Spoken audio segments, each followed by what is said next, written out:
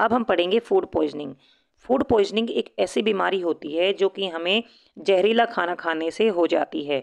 Food का मतलब होता है खाना और पॉइजनिंग का मतलब होता है जहरीला होना.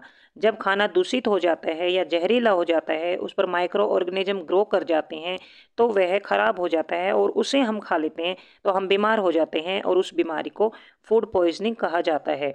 कई बार हम गंदा खाना खा लेते हैं या ख़राब खाना खा लेते हैं तो हमें बीमारी हो जाती है, उससे हमें उल्टियाँ भी हो जाती हैं, पेट में दर्द हो जाता है और कई बार बहुत ज़्यादा बीमार भी हो जाते हैं, जिससे कि मृत्यु भी हो सकती है। तो यह बीमारी होती है फ़ूड पॉइजनिंग काफ़ी डेंजरस बीमारी होती है। इसलिए हमें सावधान रहना चाहिए कि हमें हमेशा स्वच्छ भोजन, साफ़ सुथरा भोजन ही खाना चाहिए, भोजन को ढक कर रखना चाहिए। Bojo was invited by his friend in party he ate variety of food stuff Bojo अपने फ्रेंड की एक पार्टी में गया था और वहाँ पर उसने अलग अलग तरह के व्यंजन खाए थे। On reaching home he started vomiting और घर पहुँचते ही उसे उल्टियाँ हो गई। He had to be taken to hospital और उसे हॉस्पिटल ले जाया गया। तो उस डॉक्टर ने कहा कि उस यह उसकी कंडीशन फ़ूड पॉइजनिंग से हो सकती है, क्योंकि उसने पार्टी में कई तरह का खाना खाया हो सकता है। उसमें से कोई खाने की चीज़ ऐसी हो जो ख़राब हो चुकी हो तो उससे उसको फ़ूड पॉइजनिंग हो गई। Paheli wonders how food can be become a poison Paheli अचंभित है मतलब पहली को अचंबा हो रहा है कि कैसे भोजन भी पॉइजन बन जाता है।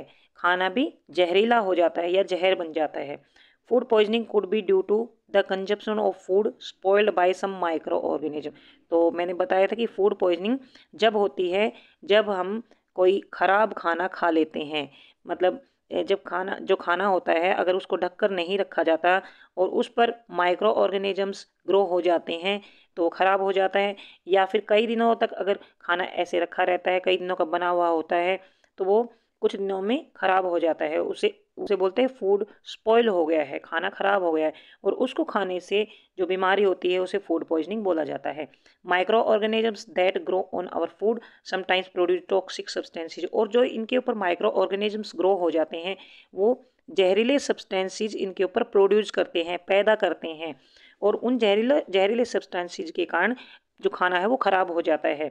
These make the food poisonous causing serious illness and even death और इससे खाना इतना जहरीला हो जाता है कि बहुत ज़्यादा सीरियसली हम बीमार भी हो जाते हैं या फिर कई बार ये भोजन, ये खाना इतना ज़्यादा जहरीला हो जाता है कि इससे काफ़ी बीमार हो जाते हैं और मरीज़ की मृत्यु भी हो सकती है, डेथ भी हो सकती है। So it is very important that we preserve food to prevent it from being spoiled तो इसलिए यह ज़रूरी है कि खाने को गंदा होने से, दूषित होने से बचाना चाहिए।